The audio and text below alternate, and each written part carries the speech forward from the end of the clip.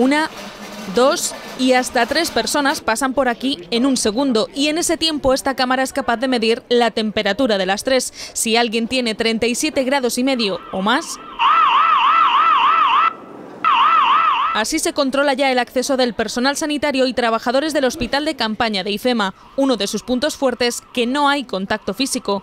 Esta cámara es tan precisa que es capaz de captar la temperatura a 3 metros de distancia y esa es una de sus ventajas. No hace falta que haya nadie aquí físicamente tomando la temperatura.